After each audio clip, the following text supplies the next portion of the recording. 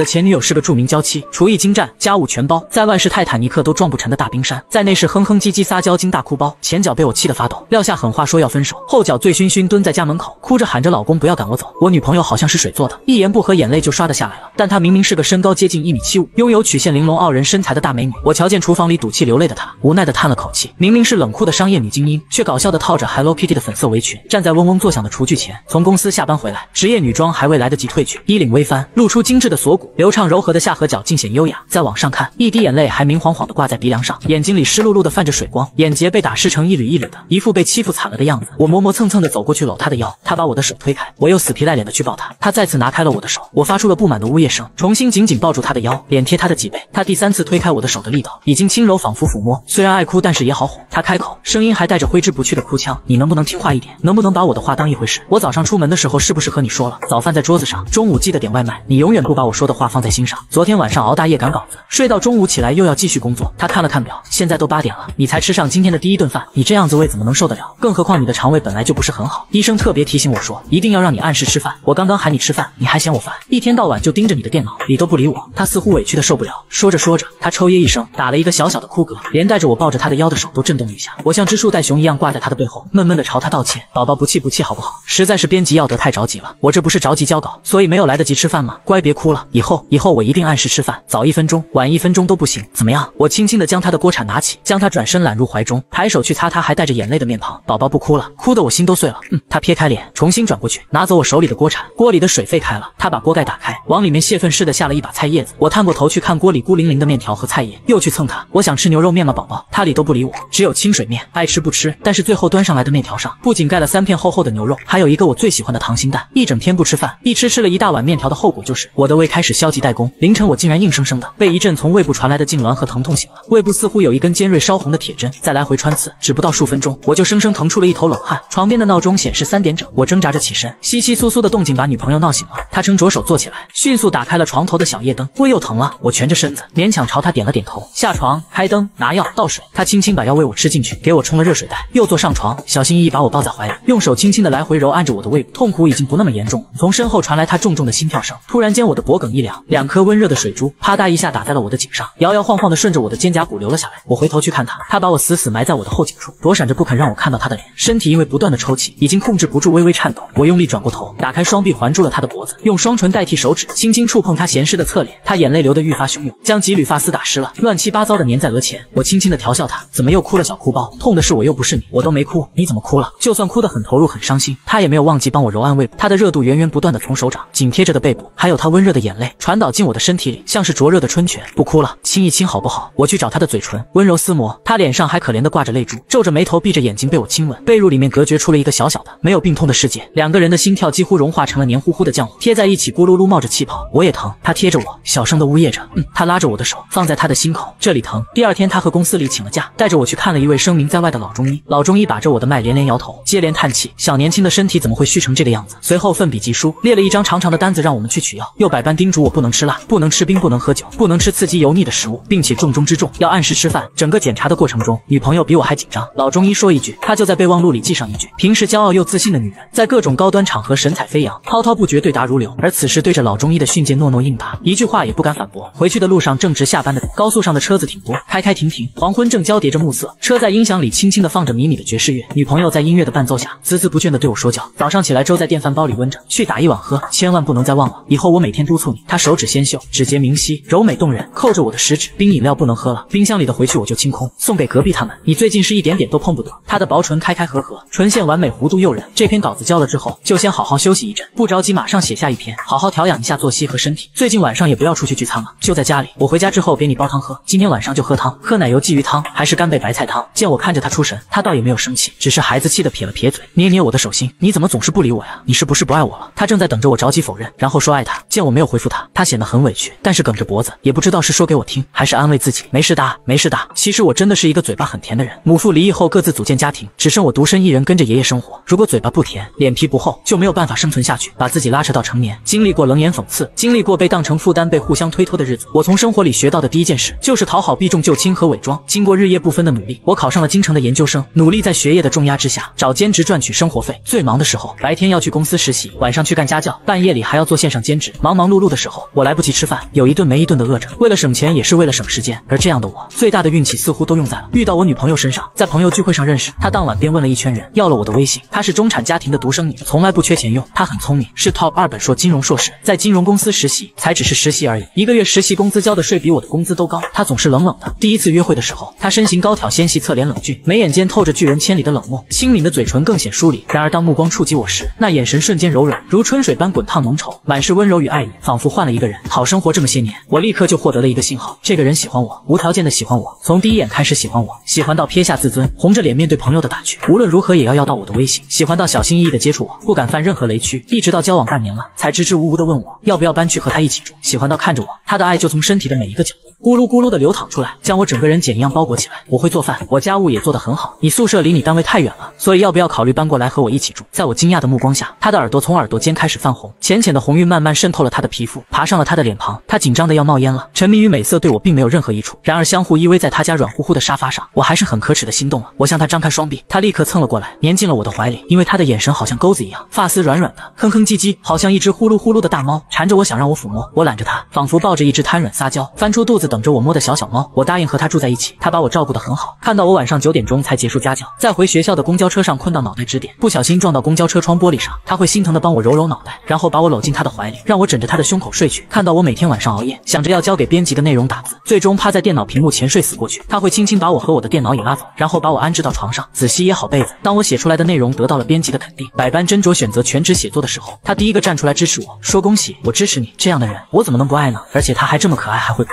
平时正正经经的人，一边哑声老。公，老公地叫低沉缱绻，一边呜呜咽咽的哭嚎着，抽抽搭搭，哭得我背后湿成一片，脸上软乎乎的，眼睛被泪水冲刷的晶亮。但是他的动作却丝毫不肯放松，让我只能按着他顾着我腰肢的纤细手臂，大口喘息着。他问我你爱不爱我？他眼角红红，紧紧贴着我，力气没有一丝一毫的松懈，还没有从刚刚缓过来，声音里还带着哭腔，黏黏腻腻的问我老公你爱不爱我吗？那是我温言软语的哄他，爱我好爱你，我超爱的。他这才放开了紧咬的下唇，脸上浮起了羞涩和红晕，实在是太可爱了。但是生活不仅仅只有眼花缭乱的动人情景，还有一地鸡毛。同居的日子。久了，我们开始有矛盾，主要矛盾就是我一边犯胃病，一边顾不上养胃，作息混乱。他看不得我难受的直哼哼，翻来覆去一晚上睡不着，第二天还得继续赶工，于是和我吵架，吵架架也说不上，就是他不停的唠叨。而我因为他太美了，所以腿比心软，实在是生不起气来，只能乖乖听训。他自己念叨了半天，因为我不和他吵，更生气了，索性就不理我了。他把手里的抹布往水池里一扔，声音微微太高了一些，开始略微发抖起来。眼看着他立刻委屈起来，我当机立断，冲过去一跃而起，紧紧从后面将他揽入怀中。不跟你吵，还不是因为你太美了，美色诱人呢。我看着你的脸。我都气不起来怎么办？他过了好一会儿，硬邦邦的说：“那你把眼睛闭上，跟我吵。”两个人都沉默了。过了一会儿，一起扑哧笑出了声。老公，不要不理我。他在我的脖颈间深深吸了一口气。不管怎么样，不要不理我。他最终长叹一口气，埋在我的怀里。不理我的话，我会发疯的。我摸着他的头发，比他顺毛，心里想：发疯不知道会不会大哭到死去活来倒是真的。看完病回家，爷爷给我打来电话，问我医生看完了吗？医生怎么说？我如实把老中医的话和爷爷说了。爷爷在电话那头听得直叹气。我说你啊，平时要多听小烟的话，他让你怎么做你就怎么做，别再一天到晚让人操心了。我听着倒是不服气了。爷爷，您这也太偏心了。到底我是你亲孙子，还是他是你亲孙女啊？你怎么什么都没听着，这心儿就偏的没边了呢？爷爷听我撒娇，呵呵直笑道：“你啊，也只有小烟能管得住你。”挂完电话，手机叮叮咚咚进了几条微信，打开一看，是女朋友的姐妹老李，呼叫姐夫。呼叫姐夫，柳神电话不接，微信不回，我这边及时找他呢。柳神在你身边不？我回了消息，放下手机喊女朋友。他从阳台上探出头来，手上戴着塑胶手套，还拎着一条蓝色的领带，湿淋淋的。我毫不怀疑，在水池里浸着的还有我其他的衣物。老李找你呢，你手机呢？应该在餐桌上，老公帮我拿一下。他的手机果真正在餐桌上嗡嗡作响。我跑过去把手机放到他耳朵边，他一边搓洗着手中的衣服，一边听电话。电话那头不知道说了什么，他的眉头慢慢慢蹙起，手上的动作也慢了下来。我给他举着手机，百无聊赖的去玩鬓角的头发，凑得近了，可以闻到他身上散发出来的淡淡的香味。我仔细闻了闻，不是沐浴露，也不是洗衣液的味道，仿佛从他的皮肤中渗出，慢慢盈满了整个他所在的空间。到底是什么味道呢？为了分辨，我贴近他，深深的吸了一口气，头顶没音了。女朋友隔了好一会儿才又说话，声音有些阴哑。嗯，好的，我马上到。下一秒，他将我搂住了，手里的手套不知何时已经被摘下，此刻正安安稳稳的搭在洗衣池的壁上向下滴水。我再回头，他已经压了下来，将我胡乱亲了一通，把我抱在怀里狠狠的揉。他贴在我的脸侧，笑着问：吻我做什么？打电话不理你，不高兴了？这都是什么跟什么呀？我被他的厚颜无耻惊到了，磕。磕巴巴的说：“不是，就那什么，就是你香我闻闻。”他挑了挑眉毛，你闻了半天闻不出来是什么味道，说明不是我们用的日常洗护用品的味道。我平时没有喷香水的习惯，这个味道又很吸引你。据科学调查显示，男生会被女朋友的费洛蒙所吸引，从而产生在女生身上闻到了独特体香的幻觉。闻到这些味道之后，能刺激呼吸中枢，加快呼吸，最终引起兴奋，产生大量的多巴胺。他歉意的在我唇上又亲了一口。可是宝贝，我老板找我有点事，有一个模型因子出了问题，所以我现在必须要出门了。我煲了汤在锅里，饿了就喝，不对，到点了就喝，不许不喝。等我回家知道了吗？晚上一直到凌晨，他都没来得及赶回来。一开始是说有要重新计算的内容，必须要在今晚赶出来，所以要晚点回家。后来是工作快要结束，老板过意不去，拉着所有加班的员工一起去吃夜宵，所以回家的时间又被拖迟了。微信里他朝我抱怨说工作太晚，晚上不想吃夜宵，只想回家和我一起抱着睡，还娇滴滴的发了大哭的可爱表情包。我放下手机，窝进被子里，来回打了两个滚。平时就算是两米的大床，他也硬是要两个人一起挤在床边的小角落，手扣着手，脚缠着脚，硬是压在我身上抱着我。难得他不在，床上空空旷旷的，我舒服的伸展四肢，慢慢睡了过去，然后被拱醒了，一具热乎乎的身体正紧紧贴在我的背后，我哆嗦着醒过来，发现自己再一次睡在了床沿边上，除了更多的依靠身后的人以外，没有别的退路。他正揉捏着我的四肢，在我的脊背上落下一个又一个吻。睡觉呢？我气不过小声吼他，他见我醒了，更是毫无顾忌的来缠我，身上略微散发出一丝酒气。我也睡，我也乖乖的睡。老公转过来抱着我睡，他哼哼唧唧的撒娇。等我转过去了，他就安静了一会儿，又开始不老实的动手动脚。我把他乱拱的脑袋推开，他的眉毛立刻撇了下去，嘴巴高高撅起，仿佛受了什么大委屈似的。还没等我再说些什么，立刻就有滚烫的泪珠从他的眼角滚滚而下。我推他，他一动不动的僵持着，抬起来的脸却有些难过的过分了，眼角红红，六神无主。老公推我，老公，我赶紧把他重新抱在怀里。不哭了，不哭了呀，我不是故意的，我不应该推宝宝。他的声音发紧，哭得一颤一颤的。那你抱抱我，不许再推开我了。好好好，我主动凑过去，亲了亲他的额头，抱了抱了呀，还有亲亲，所以不要再哭了。嗯，他满眼泪意的望着我，像只小虫子似的慢慢挪过来，然后抽了抽鼻子，在我耳朵边边用气声说：“老公，我不难过了。”然后就沉沉的睡了过去。早上起来的时候，他又已经在厨房里忙忙碌碌。我光着脚走过去贴贴他，他唠唠叨叨的让我把拖鞋穿上。穿拖鞋的路上遇到体重秤，又顺便称了个体重，瘦了一斤。他瞅着体重秤上的数字，脸色不太好看，但好歹瘦一斤还在他的可接受范围内，所以他也没有再揪着不放，只是饭桌上恨不得什么都往我嘴里喂。他对我的体重仿佛有什么执念，对在和他谈恋爱之后体重不断下跌的我感到非常愧疚。他无数次的对我说太瘦了，要多吃点，无数次因为我不怎么吃饭而生气。然而那时候正是我初初放弃工作，选择全职写作的时候，无法立刻产生经济收益的工作，让我无比焦虑，尤其是在赶稿、等编辑审稿的这段时间，我什么都吃不下，吃什么吐什么，体重一天一斤的往下掉。他急得像热锅上的蚂蚁，每天回家第一件事情就是去厨房钻研吃的，然后喂我吃。他让我吃饭，可我什么都吃不下，他便急得直哭，眼泪像珍珠串似的往下掉。闹得最狠的一次，他和我说了分手，我到现在都记得那天的景象。我文思泉涌的敲打键盘，生怕错过了难得的灵感突发期，而他却在不停的念叨着要喂我吃东西。终于在人物关键主线的塑造上卡壳的我，被持续的唠叨生激的无比烦躁，拍而起。行了，我想吃的时候会吃的，不要再逼我了。一个一米七五的女子呆呆站在客厅里，被我突然的爆发吓懵了。我坐下来又敲了几个字，但已经被打断的思路再也无法流畅的延伸下去。又写了两个字，我再一次陷入了僵局，真是烦透了。我重重叹了一口气，拎起了一旁的书包，把电脑、充电线、手机一股脑的扔进去，迅速拉上拉链，往家门口走。他终于动了，你要去哪？我头也不回，你别管了。他还想说些什么，但门已经被我合上了。砰的一声，门板把我和他隔开在了两个空间里。我在门口犹豫了一秒，甩开步子走了。我导航了一个足够偏僻的咖啡馆，和我住的地方一一个在东边，一个在西边。出了门打了车就走。等写完稿子的时候，夜色已经很深了。我把到店就关机的手机打开，立刻就开始在我手里连环炮似的响，一百多个未接电话，无数条短信、微信，一个接着一个的进来，都是来自他的。点开微信，上面白花花的一片，都是问我在哪，在干什么，什么时候回家，东西写好了没有，为打扰了我而道歉，说自己很后悔、很愧疚，不该打扰我，希望我不要生气。说家里空空荡荡的，他一下午都心神不宁，什么事都没法做，只想着我会不会在哪里出什么事了，是不是安全。除了他的信息之外，还有我读书时的好兄弟邀请我晚上一起吃饭，犹豫了很久，我答应了兄弟，打开和他的聊天框，我在对话框里打了删，删了打，他立刻就发现了我的动静，又是几条微信弹跳出来，宝宝，你已经写好了吗？你在哪？我去接你。我犹豫了一下，回复今晚我在外面和兄弟一起吃饭，不回家吃了。他立刻道吃什么？在哪里吃？可以带上我吗？我斟酌着回复一群男人，你一个女人不方便。他不死心，在哪里？那我结束以后来接你。不用了，我打车回就行。我收拾收拾东西去赴约，兄弟约在一个热闹街道上的小酒馆里，酒馆是个人来人往的网红打卡地。我们挑了个角落僻静的位置坐下来喝点。兄弟拿着酒单问我，我本能的想起女朋友的叮嘱，让我不要喝酒，稍微最起码喝酒前要吃点东西垫垫肚子。拒绝的话在我舌尖绕了几圈，最终还是吞了回去。